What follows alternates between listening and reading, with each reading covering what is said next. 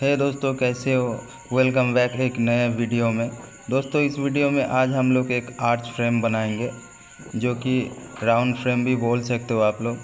माल की कमी होने की वजह से ये हम लोग कटिंग नहीं कर पाए तो इस वजह से ऐसे ही टेढ़े ही इसको जॉइंट कर लेंगे।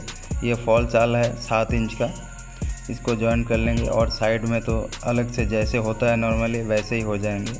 तो दोस्तों ड्राई होने के बाद हम लोग सीधा फिनिशिंग में ग्राइंडिंग मारने के लिए चले जाते हैं। इसको हाथ से फील करके एकदम बराबर राउंड को एकदम आराम से रखना पड़ेगा, क्योंकि नहीं तो दरवाज़ा देखने में अच्छा नहीं लगेगा। राउंड बराबर होना चाहिए।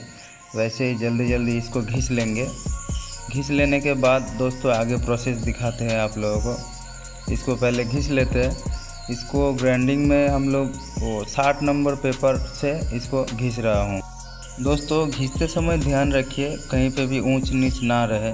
ग्राइंडिंग को बराबर से चलाइए, ताकि एकदम बराबर से फिनिशिंग हो राउंड का शेप सही से रहे। तो इसके रहने के बाद ये देखिए, कुछ ऐसा लगता है। फिर हम लोग आ जाएँगे इसको साइड वाला पट्टी जॉइंट करने के लिए।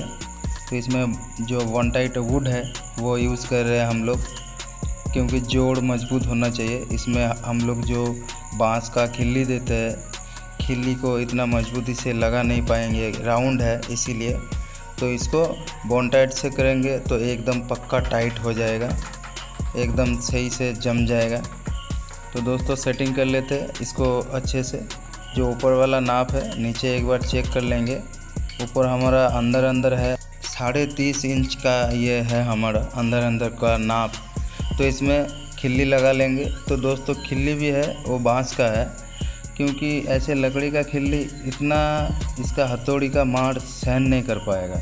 बाँस का खिल्ली बेटर रहता है और खिल्ली में ग्लू यानी बॉन्टाइड आटा इसको ज़रूर लगा ले ताकि खिल्ली बाद में खिसक के बाहर ना आ जाए। बहुत फ्रेम में देखा हूँ, खिसक के बाहर आ जाता है। तो दोस्तों, ये हो गया।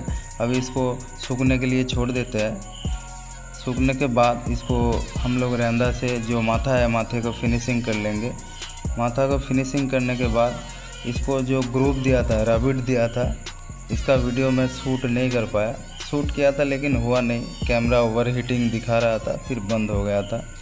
तो दोस्तों, वो दिखा नहीं पाएँगे, उसके लिए सॉरी और दोस्तों, इसको बीट दे के फिर छोड़ देंगे फिनिशिंग में। बाकी आप समझ जाओगे। ये दोस्तों ग्राइंडर ले लिया, साठ नंबर पेपर क्योंकि थोड़ा ग्राइंडर भी मारना ज़रूरी है। मानता हूँ फिनिशिंग अच्छा होता है रेंदर में स्लो रेंदा चलाने से। लेकिन फिर भी थोड़ा ग्राइंडर मार देने से बहुत बढ़िया रहता है। इसीलिए इसको थोड़ा ग्राइंडर मार लेते हैं। ग्राइंडर मारने के बाद हाफ़ राउंड वाला जो बीट है बीट को आप लोग दिखाएँगे आप लोगों को। हाफ़ राउंड बीट इसमें घुमा लेंगे। ये इसके बाद जो ग्रुप का है ग्रुप का तो वीडियो दिखा नहीं पाए। इसके लिए सॉरी दोस्तों। इसमें हैवी कुछ काम है नहीं। लगता है बहुत टफ़ है, लेकिन इतना टफ़ नहीं है। ये जो पार्टी का काम है, इनका ये दरवाज़ा एक एक्स्ट्रा इसमें ऐड हुआ है। पहले इसका पाँच दरवाज़ा और एक बड़ा वाला, सात फीट बाय आठ आठ फीट का दे दिया। लास्ट में आप लोग देख लेना। जितना भी दरवाज़ा है लास्ट में दे दिया। आप लोग देख लीजिएगा। तो दोस्तों, कोई भी सुझाव होता है राउंड फ्रेम के बारे में, मुझे इतना पता नहीं। ये देखिए, ये वाला बीट दिया। तो दोस्तों, कोई भी सुझाव होता है राउंड फ्रेम के बारे में, ज़रूर से कमेंट कीजिएगा, क्योंकि मुझे भी इतना नॉलेज है नहीं, फिर भी मेरे आइडिया से काम करता हूँ।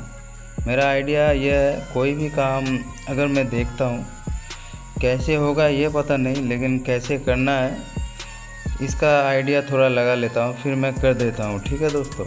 तो दोस्तों, आप लोग भी अगर चाहो कोई भी काम करने के लिए, आप लोग भी कर सकते हो। एक बार ठान लेना कि हाँ ये काम मुझे करना ही है, नहीं तो क्या होगा, मज़ा नहीं आएगा। तो दोस्तों, ये हमारा बीटिंग चल रहा है, बीट दे रहा हूँ इसको। बीट देने के बाद इसका काम छोड़ देंगे। तो दोस्तों, वीडियो में यहाँ तक अगर आ गए हो तो आप लोग please like, comment and share कर दीजिएगा।